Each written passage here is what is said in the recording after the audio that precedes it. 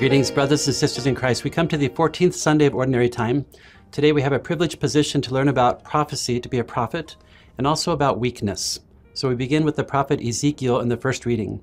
And God calls Ezekiel to be a prophet, and he calls him to go to his own people. And listen to the words As the Lord spoke to me, the Spirit entered into me and set me on my feet. And I heard the one who was speaking to me say, Son of man, I am sending you to the Israelites so when we listen to God, the Spirit can enter into us, and then it sets him on his feet. The Spirit of God sets us right and gets us ready for motion.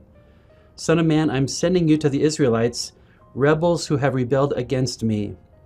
This is the story of salvation. God called us to be in communion and covenant with God, and then by our original sin, we broke that covenant. How did God respond to that? He sent us prophet after prophet after prophet. And now he's sending Ezekiel to be another prophet. And listen to what he says. God says, Hard of face and obstinate of heart are they, and they are the ones to whom I'm sending you. So that sounds like a fun job, right? God's going to send you to obstinate, hard faced people. You shall say to them, Thus says the Lord God, and whether they heed or resist, for they are rebellious, they shall know that a prophet has been among them. So God knows that sometimes we resist God, sometimes we fight God, sometimes we push off God. God still comes to us and wants us to know a prophet is among you. I'm still here. I'm still here to offer a covenant to you. And the covenant in the Hebrew scriptures is, I will be your God, you be my people. And then God asks us to follow his way. So why does this have to do with you and me? We are baptized, a priest, a prophet, and a king. A priest is one who sanctifies. So the ordained priest at the altar sanctifies at the Mass, the body and blood of our Lord.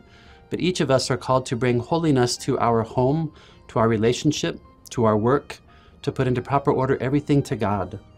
And then a prophet is one who speaks on behalf of God. Especially you moms and dads, we need you to be prophets for your children.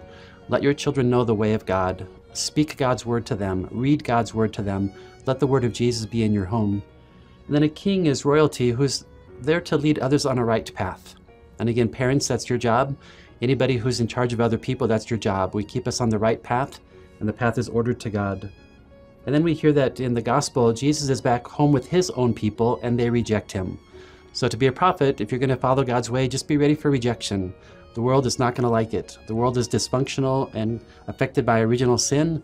The way of God is better. So we're going to stay on track. We're going to have God's Spirit with us. And when rejection comes, just be ready for that. Finally, we hear from St. Paul to the Corinthians My grace is sufficient for you, power is made perfect in weakness. So when we get rejected, we feel weak. That's when God's power can be great. So we take all of our difficulties and all of our shortcomings and place them at service of God. God can take them and make them into wonderful power in His way. So be a prophet this week. God bless you.